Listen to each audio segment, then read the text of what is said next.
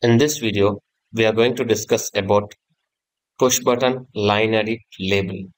First, open Qt widget application. Name it as Qt Basics. Click Next, Next, Next. Then select the respective kit. Here I'm selecting GW. Select form Go to main window UI. In the list widget, type push button. Then drag push button to GUI window. Then type line edit. Then drag line edit to GUI window. Then type label. Then copy label to GUI window. So now we have push button, label, line edit on GUI. Select text, go to style list sheet, change the background color to white. So now you can see a background of white color. Delete the text. So now we can differentiate. So this is label, white background. Okay.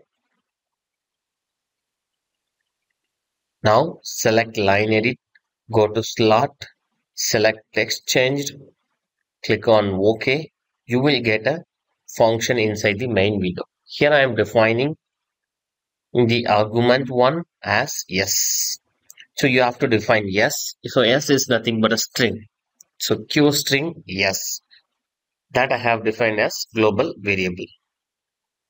So whatever you type inside line edit comes into main window as string s.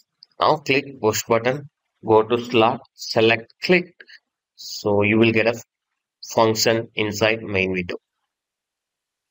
Now I'm going to set